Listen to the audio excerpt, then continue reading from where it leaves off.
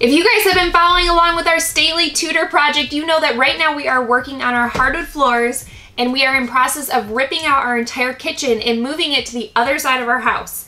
So we are going to be without a kitchen for a while. Luckily, we have our beautiful Airstream camper parked outside and we are going to be making most of our meals in this camper. So the hardwood floors we're putting in are unfinished, which means that we have to not only install them but refinish them all, Mm-hmm. which means we can't install the new kitchen until all the floors are done and refinished. So we're probably to be without a kitchen for a couple months maybe, I don't know. Hopefully not that long. A month, we'll see. So I'm really happy to have the Anker 757 and we're going to review it for you today because it's really cool. The Anker 757 is a 1229 watt hour power station.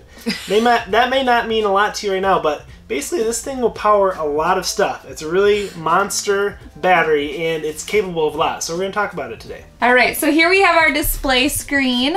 You have four USB ports, two USB-C ports, and six outlets. Um, it also has this pretty cool night light feature that I like, so you can like see what you're doing at night because obviously you don't have electricity, is why you're probably using this. Um, you can charge this thing by either plugging it into your wall. It only takes one hour to be 80% charged. Um, you can also use solar or you can charge it with your car. So a lot of really cool ways to use this and to have it on hand. So I think everyone should have one of these in their back pocket, whether you need it for like emergencies, natural disaster type stuff, or if you're like us and you're remodeling and you need it for these kind of situations. All right, so this is a big battery, but it has these big handles. So even though it's heavy, you can totally carry it. See? It's not bad. I can like do some reps with it. Nice. Thank you. This is the back here. This is where you can charge it for your solar panels or in your car. And then this is obviously your plug. All right, so we are going to try this thing out by plugging some things in and showing you what kind of usage it takes. I'm gonna turn it on. I'm gonna plug in my phone here, right into this USB. So it says that there are four watts, six watts going out, 99.9 remaining hours. So obviously charging a phone takes like nothing. And you have all these ports. So there's a lot of, I don't think you'd ever really need all those, but there's a lot of space for anything you'd need. All right, so now I'm gonna plug in our laptop, which should take a little bit more. Let's see here. Gotta turn on our AC outlet here. So now that we have our laptop plugged in here and our phone, it looks like it's running at around 60 watts with around 11 and a half hours remaining with just those two things. So that'll give you an idea of what some like home office type things will draw from this. And now we're gonna test out our kitchen appliances in our camper. Anker also has two smaller models, the 521 and 535 Powerhouse, with the same long lasting batteries but smaller capacity and increased portability. Alright, so we just turned the camper on, and all we have running right now is the fridge and then the power inverter for the DC lights.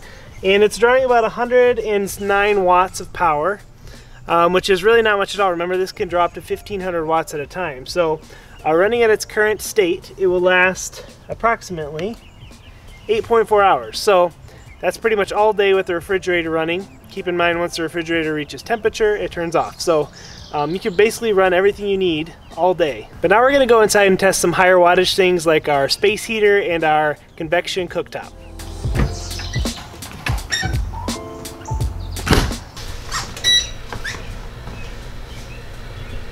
Ooh, it's warm. All right, so it looks like we are at 1300 watts right now um, with just about 0.7 hours remaining. So we could run that space heater for like 45 minutes maybe before this would die. So it's pretty impressive that this thing can even turn on the space heater, let alone run it for another 45 minutes because space heaters take a lot of power. Anker also offers a five-year warranty for your peace of mind.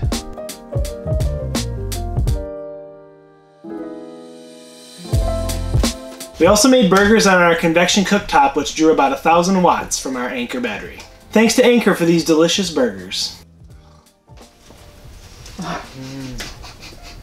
So this may just look like a gray black box to you, but there's actually a lot of tech in here and it's really cool. So we're going to talk about it. The Anker 757 is designed to last for years and years without the battery degrading. The batteries will remain in a healthy state even after 3,000 complete charge cycles, and that's six times longer than the industry average, so pretty amazing.